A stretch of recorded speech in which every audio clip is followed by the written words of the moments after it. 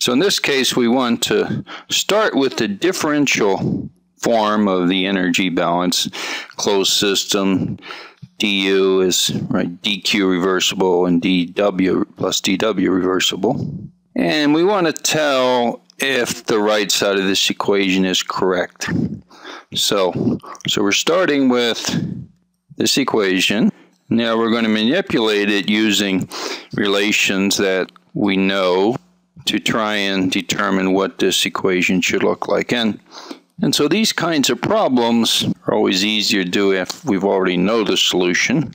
But one of the tools we have is the expansion rule. And so let's apply the expansion rule to our starting equation.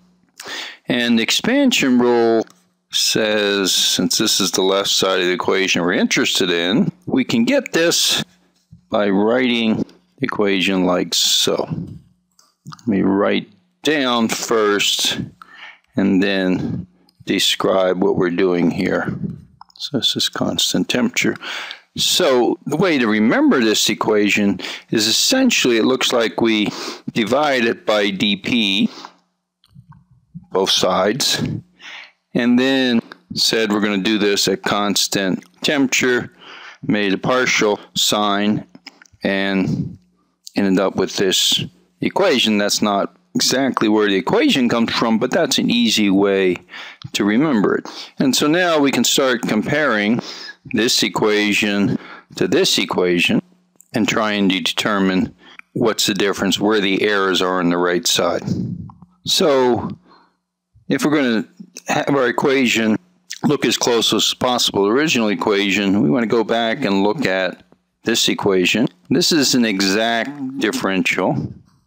What this means is that this term is the partial of u respect to v at constant s.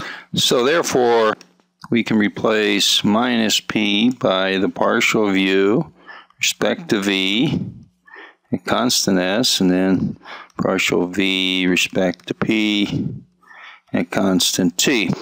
And now we can compare the two sides of the equation. And we notice a number of errors. That should be a T.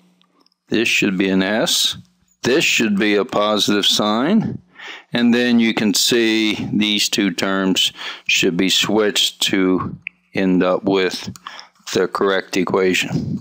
And so we've used the expansion rule and we've used the definition of an exact differential to make this comparison between the two equations.